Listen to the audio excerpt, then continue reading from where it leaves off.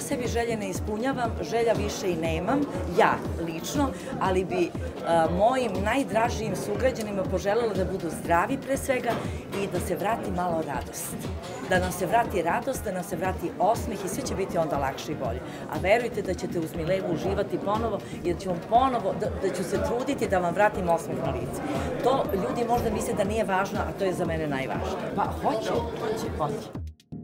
Ja bez mojih kolega u Radio Mileva ne bi postojala. Ne bi bila to što jeste Mileva, tako da sam zahvalna celoj ekipi, od kostima, šminke, od mojih scenaca divnih, direktora fotografije, e, produkcije Neleta Garića, Nire, tako da smo svi stvarno u jednom takvom odnosu kao da smo porodice. Obe podjednako volim, nema tu odvajanja, to možda u seriji izgleda da sam više na, na, na, na strani Sonje, ali ipak je meni Natalija e, i Sonja podjednake moje dve velike ljubavi, stvarno. I ljubav za sve moje kolege koje smo, uh, koji su učinili da ovaj projekat bude ovakav i da narod toliko voli.